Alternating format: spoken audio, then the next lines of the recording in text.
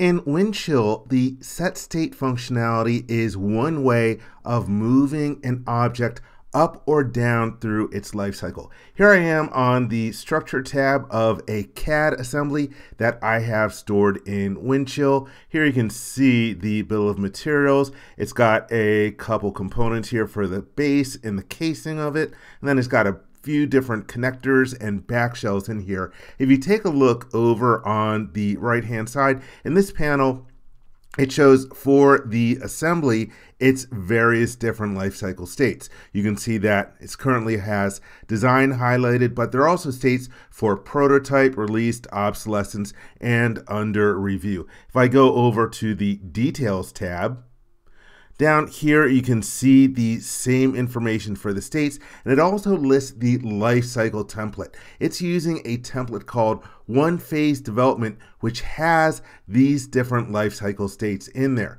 Let's say that I want to move this up. Let's say for some reason that I want to move it all the way up to released.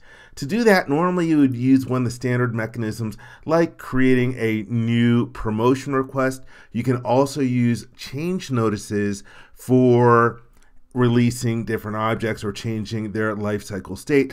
But sometimes you'll have a situation where you're trying to get something out, the person who needs to review it can't get to Windchill and they might give you a verbal okay. Or another situation that I've seen is that sometimes people don't do the reviews that they're supposed to do. And again, you just need to get it released, or maybe you need to get it back to in work or some kind of a concept stage. And so you can use set state instead. And one thing to note about set state very few people will likely have this permission to use the functionality. Typically, it's just for the administrators and maybe some high up people on the team will have access to set state. All right, so I have clicked on the command. You can see I have all the different objects listed in here. And in this particular case, the connector had a family table, so grabbed all the other family table instances in here as well. The reason it grabbed everything is that if you go to the dependents drop down list, by default, this is set to required. You can actually use preferences inside of Windchill for changing this. But let me go back over here. Let's say I don't want any of these objects in here. I'm going to select the first one in the list. I'm going to scroll down. I'm going to grab all the common hardware components, the back shell, as well as all these different connectors. And then you can use this button over here to remove the selected objects. And that way the list is a lot shorter. Right now, it says the target state is design, which is the same as the current state. So set state would do nothing in this case. You can use the drop down list to select the target state that you want. If you want to do it for multiple objects, you can select those objects. Here I am using the select all rows button. And then here we have the target state. And from the drop down list, I could say, hey, yeah, let's get this stuff released because we need to send it to manufacturing. So now I've got the target state set.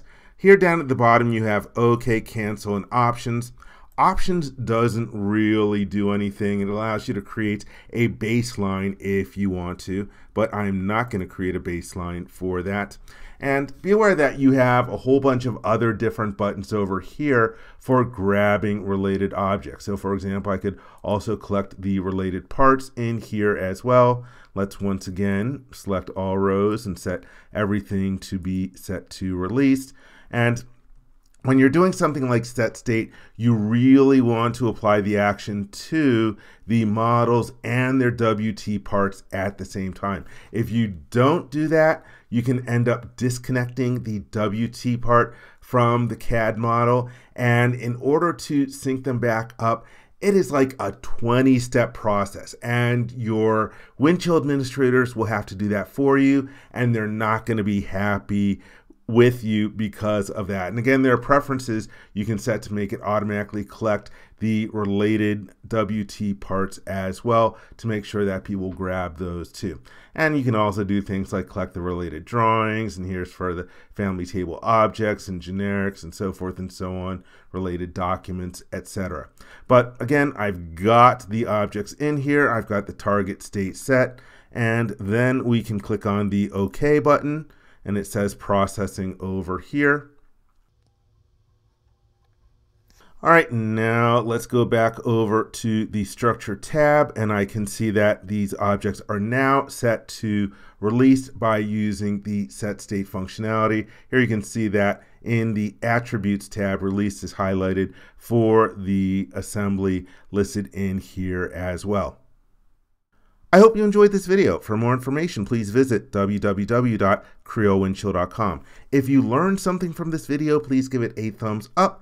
And if you like this video, please click the subscribe button and ring the bell to be informed when new videos are uploaded. Thank you very much.